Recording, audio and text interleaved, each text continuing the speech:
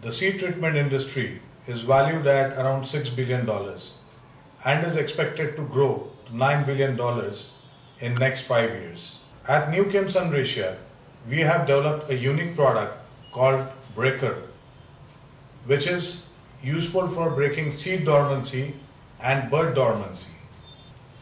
Its unique PEG primer technology ensures that the nutrients reach the embryo of the seed and encapsulate the seed with different nutrients to provide the seed with the needed nutrition during its seedling stage.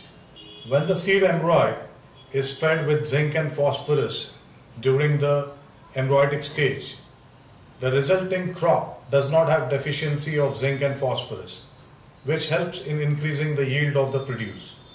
This product is registered with the FCO and has got huge potential in the fast growing seed treatment industry. Breaker is available in your brand and we can customize it and pack it as per your requirement. For more details, you can contact us on the below mentioned email and phone number. Thank you.